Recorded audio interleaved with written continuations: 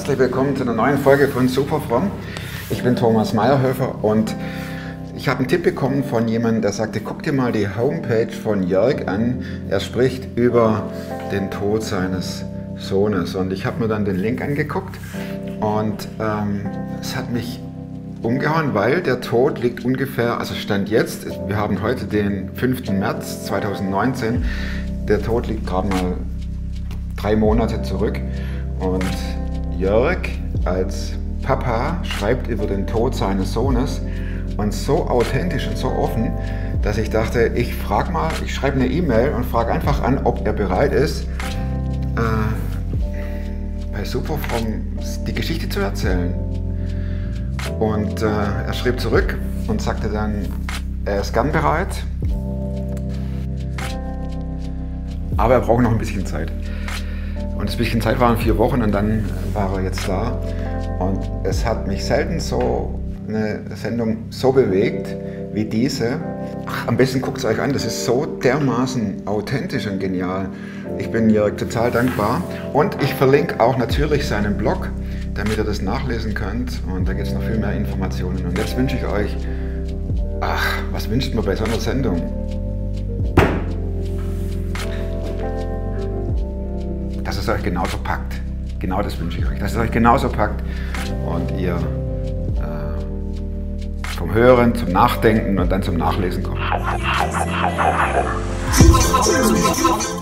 Klar bin ich einer, der gescheitert ist. Ich weiß nicht mal, was da läuft und was es ist. Ich bin in der Hinsicht im Moment ein bisschen privilegiert. Der Podcast mit Thomas Mayer. Natürlich denkst du dir dann erstmal, ja gut, der hat auch keine Ahnung. Was weiß ich. Studiert noch Medizin Ja. leidet Das hat er im Bett, hat er eigentlich einen Hund draufgeschlagen. Egal wie abgedreht das war.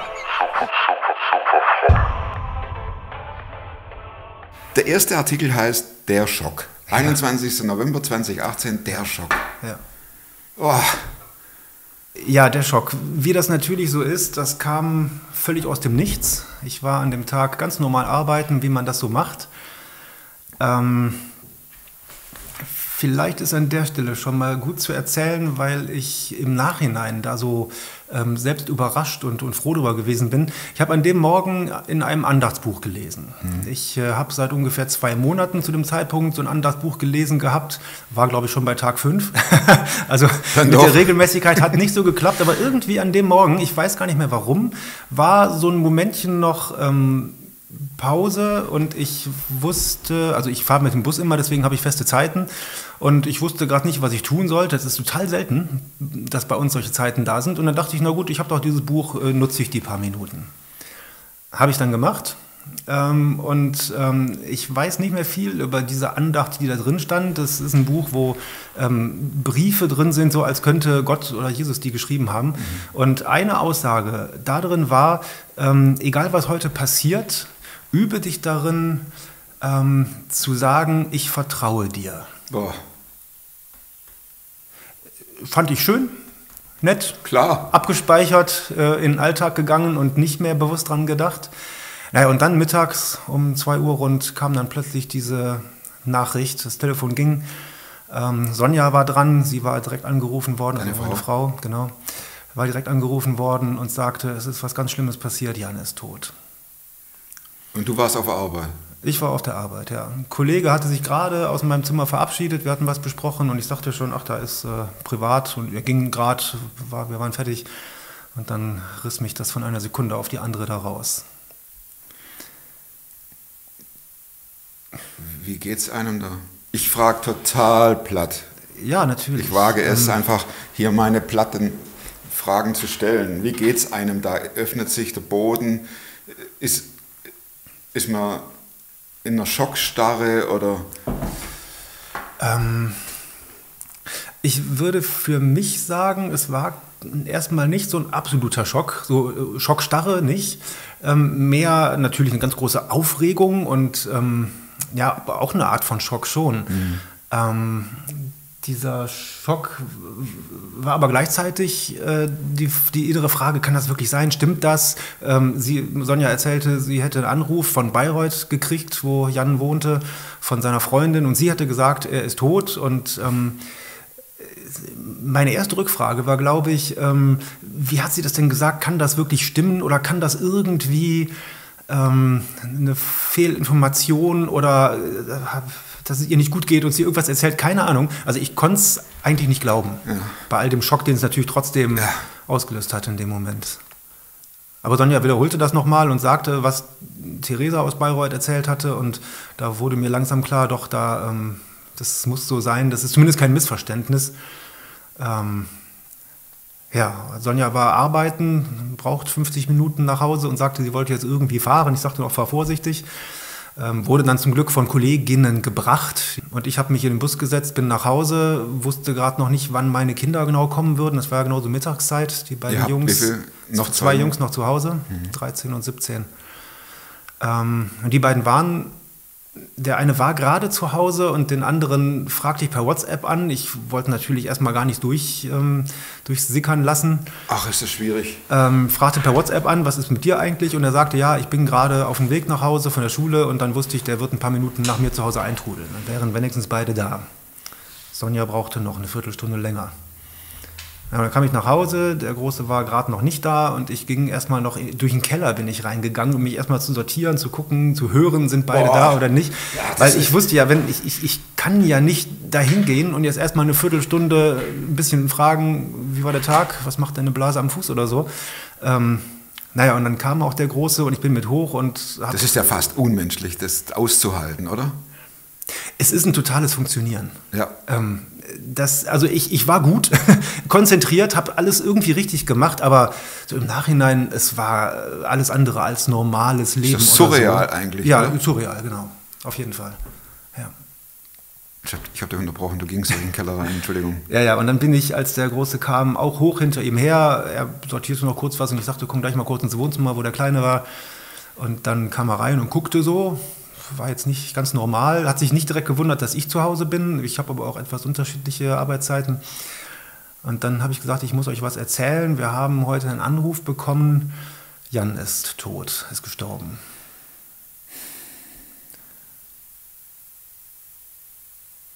Die ähm, beiden haben sofort mit großen Augen reagiert. Gerade der Kleine sagte, was, nein, ähm, ist kann es sein? Der ist äh, 13. 13. Ähm, und ich sagte doch, wir haben einen Anruf bekommen von Theresa und die hat das erzählt und das ist, ähm, das hat, also ähnliche Reaktion wie ich hatte, ähm, kann es sein und ich sagte doch, das hat schon irgendwo Sinn, was sie erzählt, das muss so sein. Wir wissen jetzt noch nicht so viel, ähm, da war auch die Polizei dabei, ähm, die beim Tod von Jüngeren ja irgendwie Klar. gucken muss und alles das und wir werden noch einen Anruf von der Polizei bekommen, aber alles später erst, bis dahin wissen wir nicht viel. Ähm, und waren dann in so einer Schwebesituation. Ja. Ja, also ich kann jetzt gar nicht mehr genau sagen, was wir dann noch besprochen haben, geredet haben. Ähm, ich weiß noch, der Kleinere, der sagte, hm, ja, ach, aber eigentlich ähm, hatte ich ja auch gar nicht mehr so viel Kontakt zu ihm. Der wohnte ja seit drei Jahren schon weit weg und hatte dann auch nicht so viel Kontakt gehalten. Ähm, so ganz trifft mich das jetzt gar nicht, war so seine erste Reaktion, glaube ich, auch so ein bisschen diese Ungläubigkeit oder kon konnte er nicht an sein Leben so ganz ranlassen, dass es wirklich der Jan war, den er natürlich intensiv kannte von vorher und intensiv mit ihm zusammengelebt hat und alles das. Also das ist dann erst später durchgetröpfelt bei ihm. Naja, dann dauerte es aber auch nicht so lange, bis Sonja dann kam. Und ähm, sie kam die Treppe hoch und als sie die beiden Söhne zuerst an der Treppe oben stehen sah, da kamen ihr sofort die Tränen. Das waren aber auch ihre ersten Tränen gewesen. Ähm, ich hatte zu dem Zeitpunkt auch noch keine gehabt, vor lauter Versuch zu realisieren und zu Funktionieren, organisieren. ja, wie du sagtest. Ja, tatsächlich. Und dann haben wir alle zusammen gestanden, uns in den Arm genommen und erstmal tatsächlich alle geweint. Hm. Ja. Das, wie du das erzählst, es kommt ja und kam ja aus dem Nichts. Du, Ja. du, du, das sind ja diese Horrormeldungen, die man, oder auch Gedanken, die man dann mitunter hat. Und wenn man es auch liest, dass man denkt, naja, äh, das ist so weit weg. Ähm, und dann betrifft es einen auf einmal selbst. Wann kam bei dir die Zeit, dass du realisiert hast, mein Sohn, oder wann endete die Zeit des Funktionierens? das kann man ja nicht dauernd aufrechterhalten.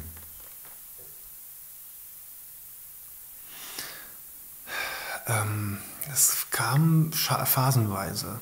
Also ich erinnere mich zum ersten Mal an so ein leichtes Durchatmen, als ich äh, vom Büro, da hatte ich auch noch zehn Minuten irgendwie gerade fertig gemacht, war eigentlich High Life, aber zum Glück fast am Ende, habe Kollegen eine E-Mail geschickt mit den wichtigsten Dateien, Informationen, habe gesagt, ich muss leider weg. Ähm, ist wichtig. ähm, und dann saß ich im Bus oder musste sogar noch kurz auf den Bus warten und da konnte ich ja erstmal nichts tun und musste auch für niemanden funktionieren. Und in dem Moment konnte ich so ein bisschen auch auf mich wirken lassen. Und das war dann zum einen, nee, doch, das war noch eigentlich der Schock, der, der noch nicht real, ganz real wurde. Aber ich erinnerte mich in dem Moment zum ersten Mal an diesen Satz aus diesem Andachtsbuch. Egal was ist, äh, übe dich darin zu sagen, vertraue mir. Und da dachte ich nur, ja, Jesus, ich vertraue dir. Ich habe keine Ahnung, was ist. Mir kam dann aber auch der Gedanke, ich höre immer, dass Menschen in diesen Situationen sagen, jetzt, ab jetzt hat sich das Leben verändert, das war nie mehr so wie vorher. Ähm, manch einer äh, bekommt ähm, handfeste Depressionen oder fällt in Löcher und kommt mit der Trauer nicht zurecht, was auch immer. Und ich wusste ja nicht, was sein würde. Ich wusste ja nicht, wie meine Kinder reagieren würden. Ich wusste nicht, wie Sonja reagieren würde. Und ich spürte meinen Schock und war irgendwie gefasst, aber auch was es mit mir machen würde, hatte ich ja keine Ahnung zum Zeitpunkt. Und diese Gedanken ähm, in so einer Art, wie man Sorgen davon bekommen kann, die kamen hoch in diesem Moment. Aber da stand dann eben auch dieser Satz direkt daneben, üb dich zu sagen, vertraue mir. Und ich dachte nur, ja, ich vertraue dir, ich werde jetzt in diese Phase rein und dann bin ich doch wieder so ein bisschen in diesem Funktionieren-Modus, aber ich werde da durchfunktionieren und die, die Zeit wird bringen, was sie bringt. Die Trauer, keine Ahnung, was das ist. Ich habe nie echte Trauer erlebt bisher. Die wird sein, wie sie ist. Ähm, Das Einzige, was ich von Trauer wusste, ist, ähm, dass ich sie irgendwie zulassen will, dass ich sie nicht unterdrücken will, dass man das nicht soll, dass es nicht gut ist und aber was es bedeuten würde, hatte ich keine Ahnung. Also du hast nicht rebelliert, indem dass du sagst, das war ja ein Witz mit diesem äh, Satz heute Morgen und dann diese Message, Nee, gar nicht. sondern im Prinzip genau das Gegenteil. Ja, der hat mich vorbereitet, dieser Satz. So, also diese Formulierung habe ich jetzt im Nachhinein erst gefunden. Ähm, in der Situation war er da und ich konnte mich darauf einlassen. Und da bin ich super dankbar für, dass das so ist. Ist das übermenschlich? Ich habe das Gefühl, ja. Ich empfinde immer, ich kann nichts so richtig dafür. Ähm, ich höre von vielen und auch von vielen Christen, die ja die gleiche Glaubensgrundlage haben, dass sie äh, immer wieder gesagt haben, dass du oder auch für uns alle, dass ihr so damit umgehen könnt. Äh, ja, mit der Trauer und die schieben wir wirklich nicht weg. Wir reden drüber und lassen andere teilhaben, aber trotzdem auch die Hoffnung nicht verlieren und trotzdem das Vertrauen auf Gott nicht verlieren. Ähm, das haben andere immer so gesagt, dass das scheinbar was riesengroßes, Tolles ist. Also ja, die Auswirkungen sind riesengroß toll, da bin ich sehr dankbar für, aber ich wüsste jetzt nicht, was ich dafür groß gemacht habe. Also das ist jetzt, empfinde ich nicht eine Glaubensleistung, wo ich mich jetzt besonders bewährt habe, sondern das ist das Beste, was mir passieren kann, dass diese Grundlage scheinbar da war. Du musstest dich auch nicht äh, permanent daran erinnern und sagen, denk dran, Gott hat es im Blick, denk dran, das läuft so, denk dran, äh, er hat es jetzt besser. Diese Art von Gedanken haben manchmal schon gebraucht, bis sie wirklich da waren oder jetzt vielleicht nicht nur als theoretischer Gedanke, sondern auch so im Herzen angekommen sind. Ähm, aber ich musste da nicht großartig drum ringen, ähm, aus, aus einer anderen Denkweise jetzt rüberzukommen in das, von dem ich jetzt vom Glauben her weiß, dass das vielleicht die bessere Denkweise wäre. Eigentlich war die da oder war Bestandteil auch der ganzen Überlegungen, Reflexionen, Gefühle, die so gewesen sind bei mir. Aber wie du sagtest, ich finde es übernatürlich, ja. Ja. ja. Auf deinem Blog gibt es auch äh, diverse Fotos und eins oder mehrere sind auch äh, von der Beerdigung. Ja. Ihr lauft hinterher, ihr kniet am Grab, ihr habt nicht das typisch Schwarze an. Äh, völlig neutral, deine Frau im Anorak, blau, mhm. Jeans, Hose, auch du siehst jetzt nicht aus als äh, wie jemand, der Erwartungen erfüllt, was die Kleidung bei einer Beerdigung anbelangt. Ja. Habt ihr das bewusst gemacht und habt gesagt, wir gehen hinter unserem Sohn her oder hinter seinem Leichnam her Ja. als Zeichen, wir verkleiden uns nicht, sondern sind wie immer? Oder was war der Anlass? Das war doch sicher überlegt auch. Ja, ja, natürlich. Das war überlegt. Ähm, also diese Zeit zwischen Tod und, ich glaube, neun Tage später Beerdigung war schon sehr intensiv, weil wir viele solche Dinge überlegt haben. Ähm, ja, also wir wussten zum einen, dass Jan jemand ist, war, naja, ist, dass Jan jemand ist, der Das sagt, ist auch schwierig, oder? Zu sagen, wir haben zwei, nein, drei Kinder. Ja. Eins ist im Himmel und zwei sind bei uns. Oder wie, Ja. wie, wie, vielleicht ist das kurz ein Einschub. Wie praktiziert ihr oder wie, wie sagt ihr das? Genau so. Wir haben, Ah, okay. also dadurch, dass er bei uns halt richtig lange auch gewohnt hat und es nicht eine Geschichte von vor vielen, vielen Jahren ist oder er als sehr kleines Kind gestorben ist. Dadurch ist für uns klar, wir haben drei Kinder und einer davon lebt schon im Himmel. Mhm. Ah, okay. Mhm. Und die anderen beiden noch zu Hause. Jan war immer ein Typ, der unkonventionell war oder der, der nichts um Konventionen gegeben hat. Der hat alles hinterfragt und ähm, äh, sagte dann früher schon, das ist einige Jahre her gewesen, sagte früher schon, ähm, warum soll man denn in Schwarz rumlaufen, wenn man doch Christ ist und glaubt, dass der Tod nur ähm, so ein Übergang ist. Und dann sollte man doch lieber Torte essen und sich freuen. Sagte Ähm, er, ja. Sagte er, genau. Also Hat er war ja schon recht. manchmal krass. Hat er auch recht. Ja, absolut. Ja. Ich habe aber auch mit Sonja manchmal über unsere Beerdigung gesprochen. Nie so intensiv, es gibt keinen Plan dafür, aber solche Dinge, dass für uns auch keine Notwendigkeit wäre, zu sagen, dann wäre mir lieb als der, der an den gedacht wird, dass die Leute in Schwarz kommen, sondern das, das soll jeder machen, wie es für ihn passt in dem Moment. Und genauso hatten wir es auch auf die Traueranzeigen geschrieben. Ah, Jan hätte da keinen Wert drauf gelegt, deswegen soll jeder so kommen, wie er es gerne möchte. Also auch nicht schwarz verboten, was ja manche auch ganz gerne äh, sehen würden, dass lieber mal gar keiner schwarz ist. Ah. Konnte jeder dann wirklich machen, wie er es selber für angemessen findet.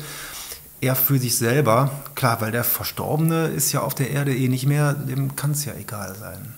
Und Jan wäre es auch nicht wichtig gewesen, wussten wir. Deswegen hat das für uns so gut gepasst. fragt ihr euch oft nach dem Warum? Ähm, nicht so sehr. Sonja noch mehr als ich. Ähm,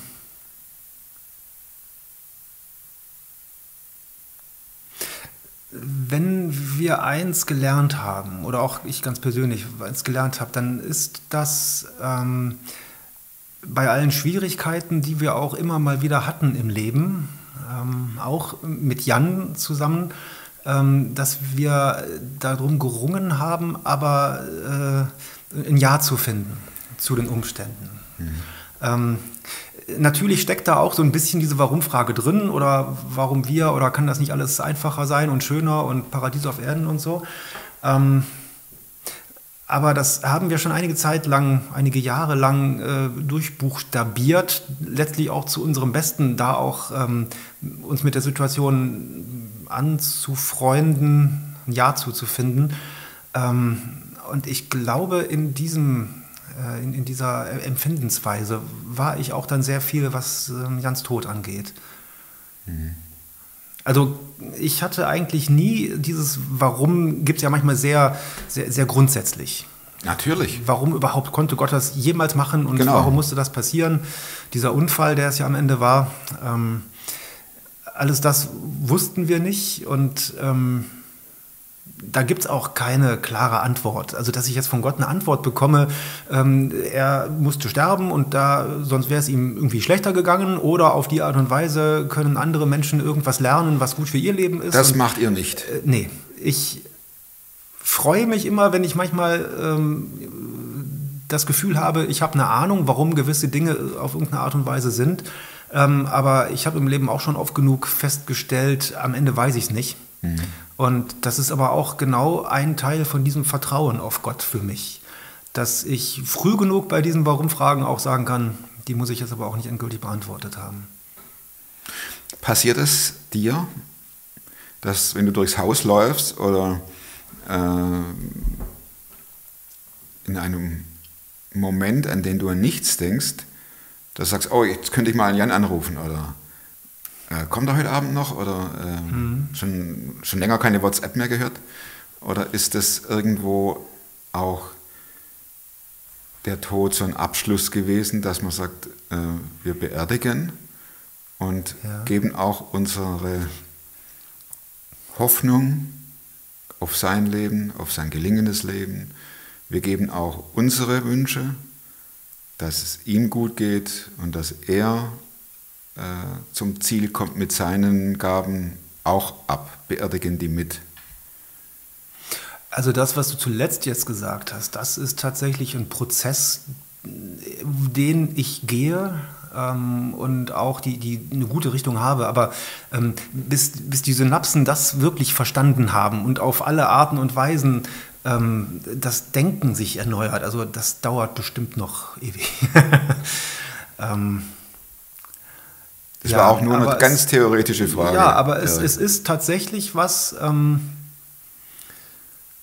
wa- was mir sehr wichtig ist, dass ich diesen Weg auch gehe, das Loslassen, das wirklich Abgeben.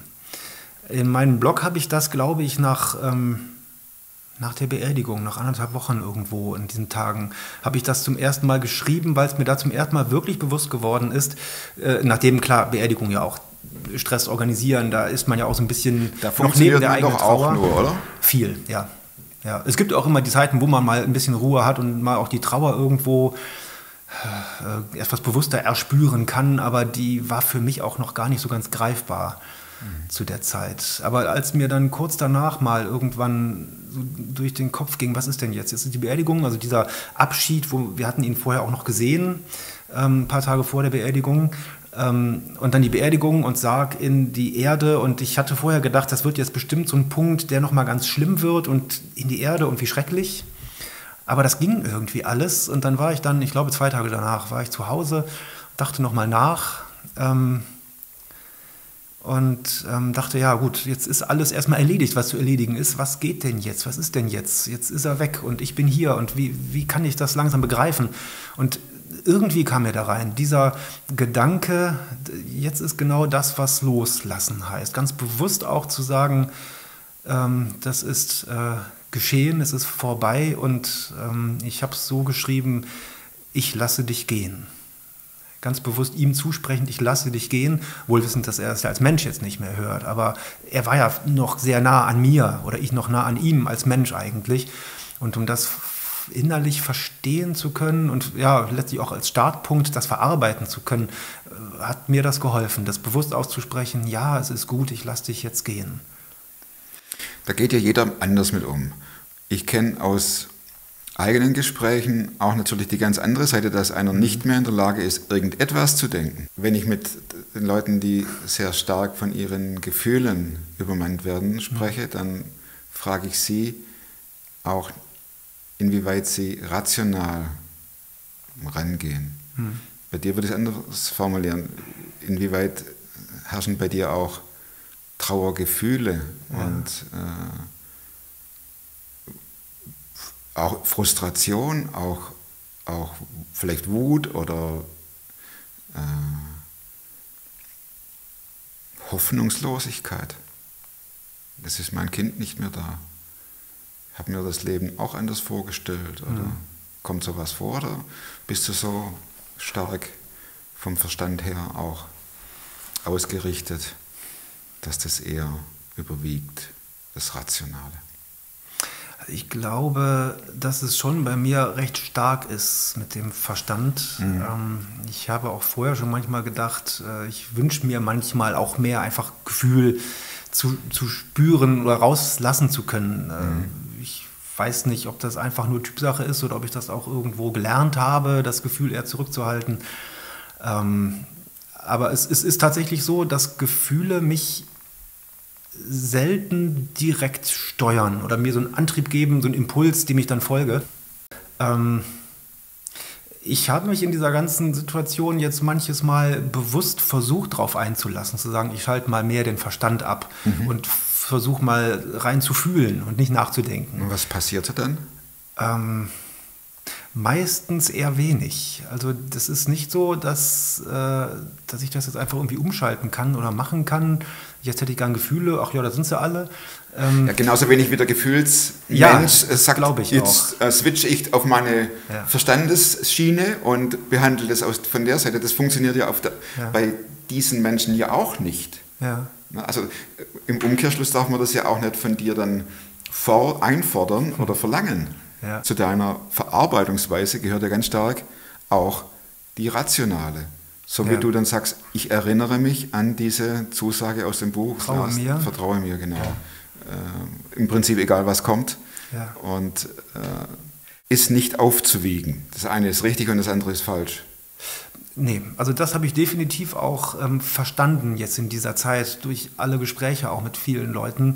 Ähm, wenn ich vorher irgendwie gesagt hätte, ich weiß, ja, Trauer findet unterschiedlich statt, ähm, aber ähm, dass es da wenig richtig und falsch gibt.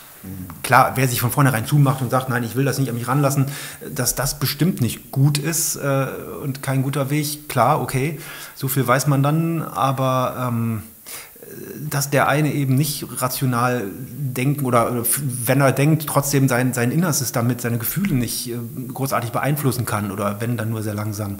Und ich bei mir eben merke, äh, ich denke viel nach, natürlich auf einer Grundlage von einem gewissen Grundgefühl, was da ist, aber eben nicht so spezifisch, nicht so genau.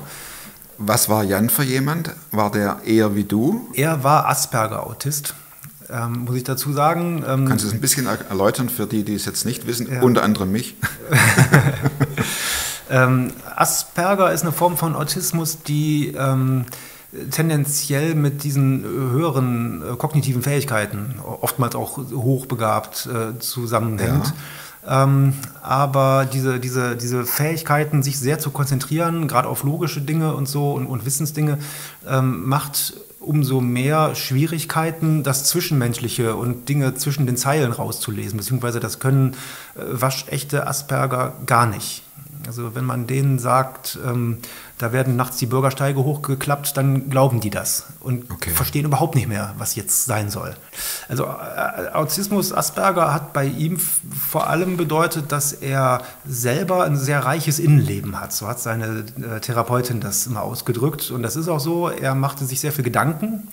Ähm, und was er einmal verstanden hat oder auch meinte verstanden zu haben, das war für ihn dann ähm, ja, das, das Weltbild, das war die Welt, das war dann logisch und richtig. Ähm, und wenn andere anderes dachten, ähm, konnte er überhaupt nicht verstehen, wie man das noch denken kann. Oder spätestens, wenn er einem das erklärt hat, dann hätte es ja klar sein müssen. Ähm, Ich vers- ja. also dieses, dieses Zwischenmenschliche stehen lassen können und verstehen, ach guck mal, der sieht das anders. Na, dann halte ich mich mal zurück und kann auch mit Grau leben. Äh, Das fiel ihm sehr schwer. In deinem Blog steht, dass er auch äh, Christ Ja. ist und ähm, dass er das auch vehement, bitte korrigiere mich, wenn ich es falsch sage, äh, vertreten hat. ja. Da stelle ich mir dann auch schwierig vor, dass er dann durch diese äh, eindeutige Positionierung nicht hin und wieder aneckte, sage ich mal. Ja, er ist natürlich angeeckt damit, weil alle, die wir also gerne als normal bezeichnen, ähm, verstehen das ja gar nicht und denken, er wäre entweder übergeschnappt oder zumindest überheblich. Ähm, erst wenn man mal verstanden hat, dass sein Denken, sein Wahrnehmen da einfach anders ist und das einordnen kann, dann, dann kann man auch gut damit umgehen. Und dann ist es auch sehr interessant, mit so jemandem zu reden. Und dann merkt man, das, was die Therapeutin sagte, dieses reiche Innenleben, da ist unwahrscheinlich viel drin. Fragt ihr euch manchmal, oder übersteigt es auch, oder ist es zu sehr im Innenleben oder in der Fantasie, was er wohl jetzt gerade macht? Manchmal. Ähm, wobei, wir wissen es ja nicht. ähm, wir haben Trotzdem. Großes, ja, ja, also manchmal haben wir uns ja so mehr scherzhaft, aber doch irgendwo auch mit äh, dem Wissen, irgendwie so wird es sein, haben wir uns schon Gedanken drüber gemacht. Ob er so im Himmel ist und dass er jetzt Gott mit den ganzen Fragen löchert, die er die ganze Zeit hier auf der Erde so hatte. Das ist ja geklärt wahrscheinlich, die Fragen, oder? Jetzt, ja, hat man die einfach dann geklärt oder muss man sich mal eine halbe Ewigkeit mit Gott hinsetzen? Das wäre auch eine Frage gewesen, die habe ich mir hier aufgeschrieben. Ähm, wenn du auf Gott im Himmel triffst, welche Frage stellst du ihm zuerst? Wo ist er? Wo ist Jan? Wo ist Jan? Lass mich hinsehen. Ja, ja, genau. Ja. Also ich, ich, ich habe mir gerade so vorgestellt, als würde ich Gott links liegen lassen, geh mal auf Seite, ich muss mal zu meinem Sohn. Aber ich glaube, das ist eine ganz natürliche Situation da, wo Gott sicherlich äh, Das würde ich auch kein denken. Problem mit hat. Das würde ich auch denken. Wo ist er? Ah, sonst muss ich im Himmel anfangen, mein Vaterbild von ihm neu zu durchdenken, wenn das nicht so ist. Wie du schon sagtest, es ist eine Ewigkeit Zeit. Ähm, ja. wer ist Gott für dich? Heute.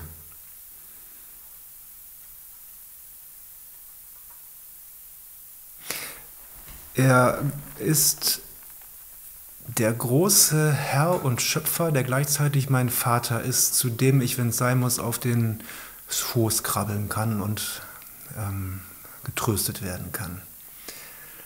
Ich sage das bewusst beides, weil ich das früher so nicht kannte.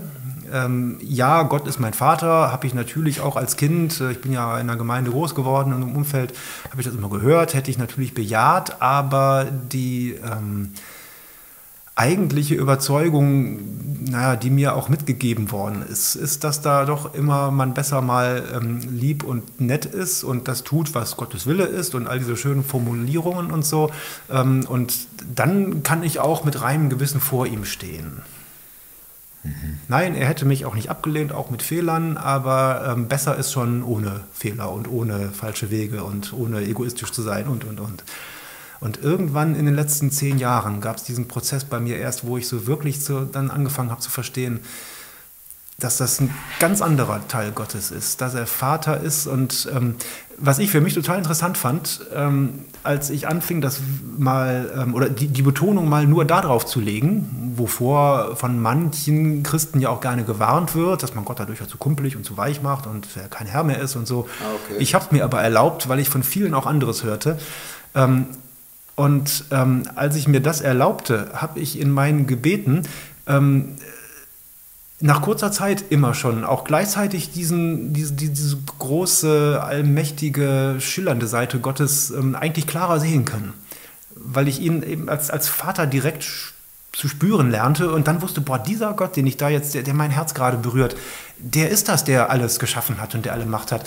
Äh, die Art und Weise, wie ich ihn da wirklich gerne angebetet habe, äh, habe ich so vorher nicht erlebt. Also für mich gehört das beides total eng zusammen.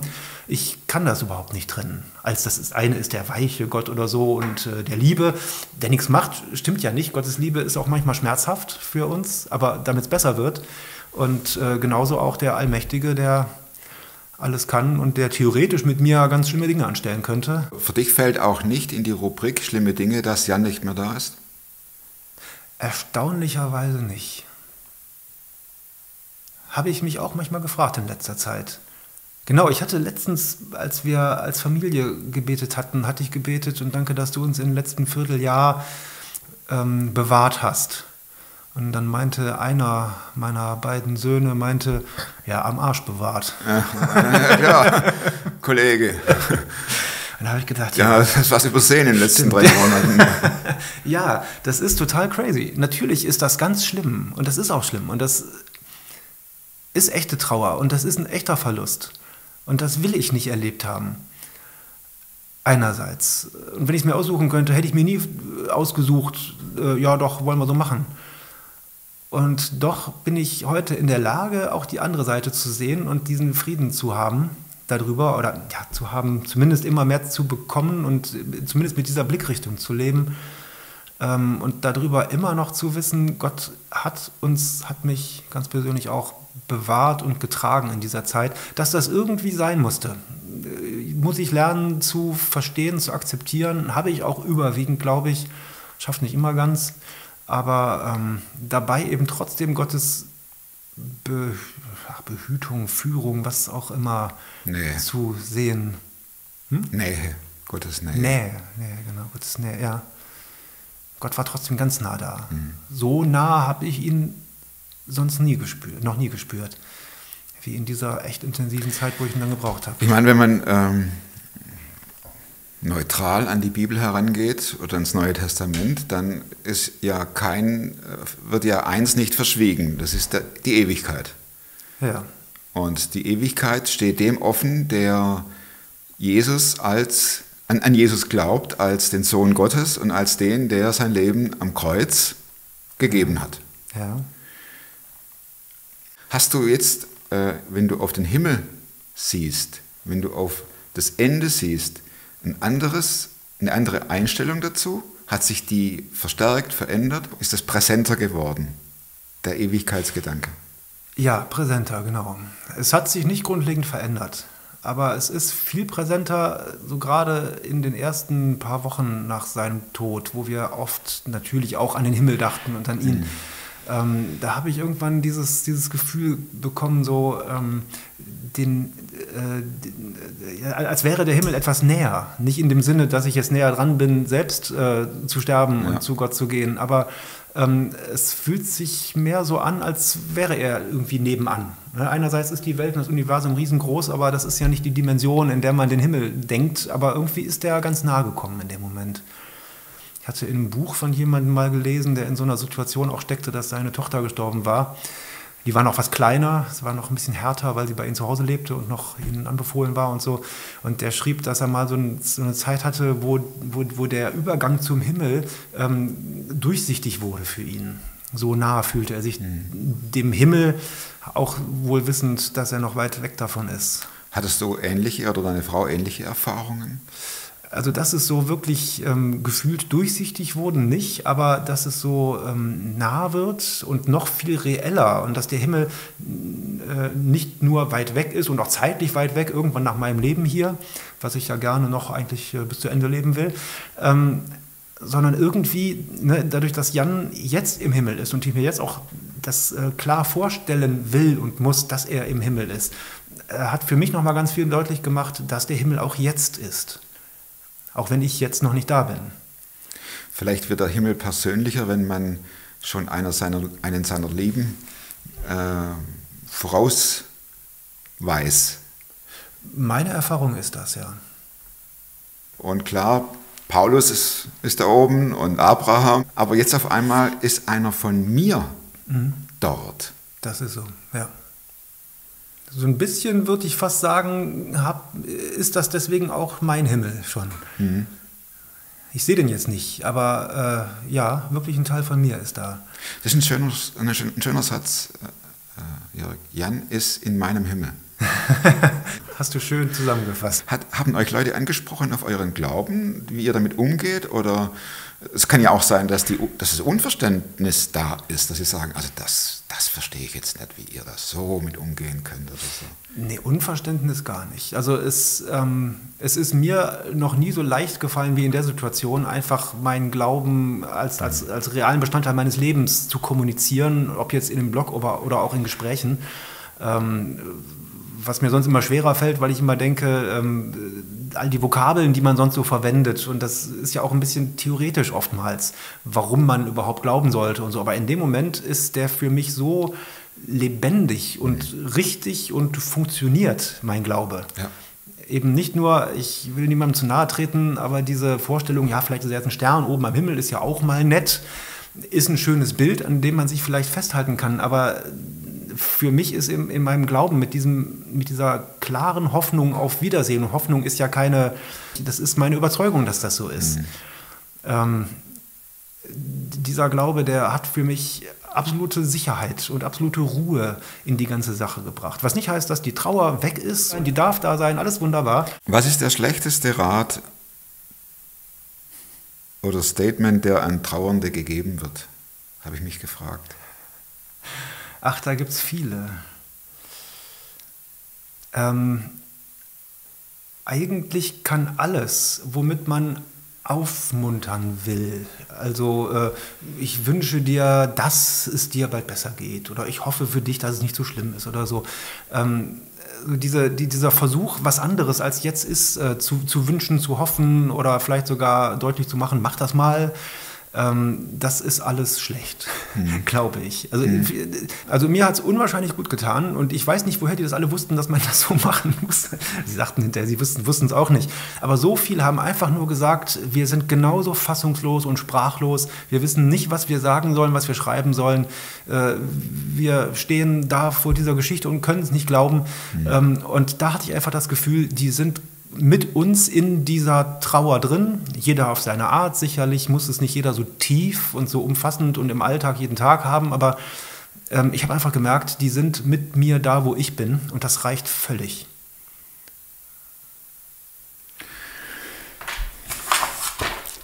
Vielleicht ist die Frage oder wirkt die Frage etwas deplatziert. Ich habe äh, mir überlegt, stelle ich sie oder stelle ich sie nicht. Ähm, das ist die Frage, die mich natürlich auch noch, äh, das ist die Frage mit dem Buch. Ja. Äh, ich bin mal gespannt, ob es ein Buch gibt, das du mehr als zweimal gelesen hast und welches, wie das heißt. Gibt's nicht. Gibt es nicht.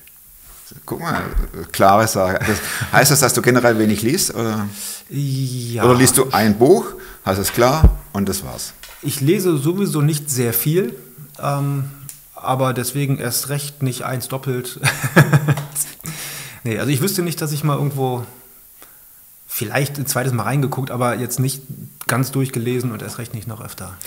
Ich, ich erweitere die Frage mal ein bisschen. Gibt es ein Buch, das du empfehlen kannst? Also was mir jetzt dann doch zum Thema äh, hängen geblieben ist, ist dieses Buch, von dem ich eben schon erzählt habe, von dem, wie heißt er jetzt? Weißt du einen Titel? Oder auch nicht? Das sind ja Nein, aber ich komme gleich drauf. Ja, ja, Christlicher Musiker. Ach, hier, der- Kopfermann? Ja, Arne Kopfermann. Genau. Arne Kopfermann. Ja. Kopfermann, Arne Kopfermann, genau. in Büchern. Mitten aus dem Leben, Ja. wenn ein Sturm deine Welt aus den Angeln hebt. Genau. Er hat wirklich noch eine ganze Stufe schwerer erlebt, weil, das, weil die Tochter, wie gesagt, ähm, noch jung war, noch seine Schutzbefohlene auch war und es auch noch ein Unfall war, den er selbst mit verschuldet hat. Also das sind noch ganz andere Aspekte, die auf ihm gelastet haben, ähm, die wir glücklicherweise nicht oder zumindest nicht in dieser großen Intensität bei uns erleben mussten.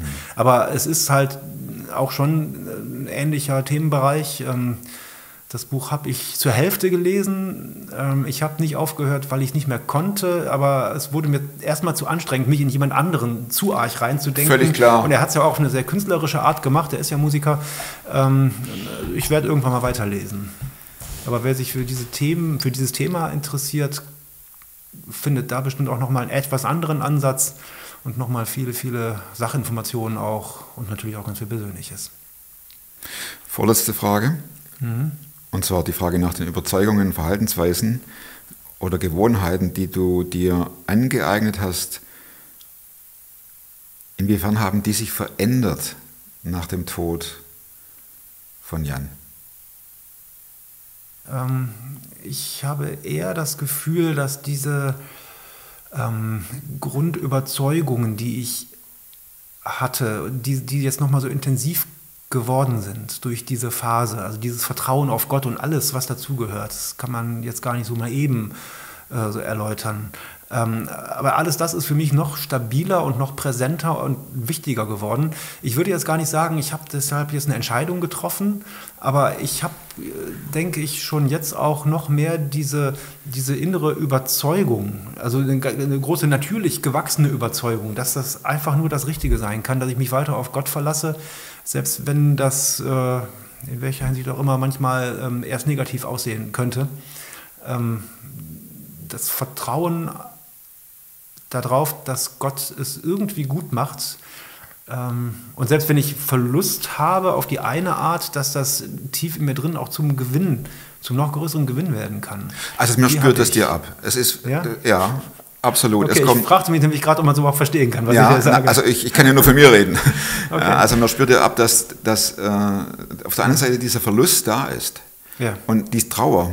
Auf der anderen Seite, dass das ein Vertrauen bewirkt, Ja. dass äh, mein Glaube nicht vergeblich ist. Mhm. Das widerspricht sich meines Erachtens nicht. Gut, ich, ich glaube genau wie du Ja. an, die, an, an, an, die Ewigkeit. Ich glaube, dass, äh, dass es nach dem Leben weitergeht. Mhm. Nur bei, bei dir bekommt das natürlich noch eine ganz andere Dimension, weil sich Ja. der Himmel geöffnet hat. Da gibt es, ich sage es mal ganz platt, da gibt es eine Türklingel, da steht Jan drauf. Ja. Und ähm, Ja, ist doch geil, oder? ja, das ist der Hammer. Das ist der Hammer, Jörg. Absolut. Und deshalb war vorhin die Frage, ob, ob da in dir der Wunsch auch wach wird, zu sagen, hey Leute, es wäre doch genial, wenn es auch eine Klingel mit deinem Namen drauf gäbe. Denk, äh, denkt über diesen, dies, dies, diesen Glauben nach, über Gott. Oder ist das zu offensiv? Also ich habe für mich gelernt, ähm, dieses Verben finde ich völlig okay. Ähm, kein Überstülpen. Ja, kein- das kein hat ein bisschen, es hat ein bisschen. Das ist mal die Gefahr dabei. Ja, ja, ja. Das hat mich auch. Ich habe als Jugendlicher versucht und bin oftmals, oder nee, so oft war es nicht, aber bin manchmal vor Wände gerannt und sehe auch heute, das war auch doof. Ähm, ich kann das keinem überstülpen. Ich muss auch nichts erreichen, ich muss auch keine Bekehrung erzeugen, kann ich eh nicht. Aber ich kann dafür werben, äh, gerade in dieser Situation jetzt mit meinem Leben. Und ich, ich wünsche es einfach nur jedem. Ich finde es nur schade für jeden, der diese Klarheit und diese, diesen Frieden, das ist für mich das richtige Wort dafür, der diesen absoluten grundlegenden Lebensfrieden, den ich durch Gott habe, ähm, das wünsche ich nur jedem, dass er ihn auch erleben kann. Und ich weiß, es geht durch Jesus Christus und so, so, so großartig ist das ja gar nicht. Es geht ja nur um eine innere Umkehr. Es geht nicht um, jetzt musst du all dein Geld, dein Geld abgeben, dein Leben darf jetzt kein Leben mehr sein. Das ist ja überhaupt nicht Thema. Aber dass, dass dieser Friede mit Gott einkehrt, das wünsche ich einfach nur jedem. Und jetzt bin ich gespannt, was du aufs Plakat schreibst. Letzte Frage. Ja. Ich habe da vorher drüber nachgedacht und das, was ich draufschreiben würde, ist nicht auf Anhieb verständlich. Aber ich glaube, für, für hier und jetzt passt das und ist auch durch das, was wir besprochen haben, auch klar genug. Also ich würde sowas in dem Sinne draufschreiben, ähm, egal was ist, Gott ist wirklich immer da.